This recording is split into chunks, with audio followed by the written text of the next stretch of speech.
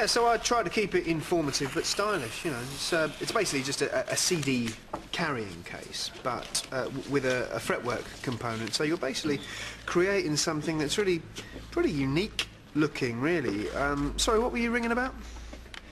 No, we don't want a free bathroom, thank you.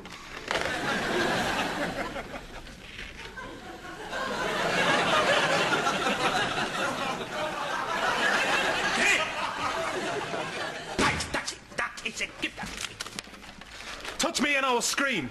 Make fun of me again, and you and me are going to fall out big time. Sack him, Rex. And it's you and I again. I'm only having a bit of fun. Okay, we'll change that. And you, Wordsworth, get some work done. All right, all right, all right. Henry, All right.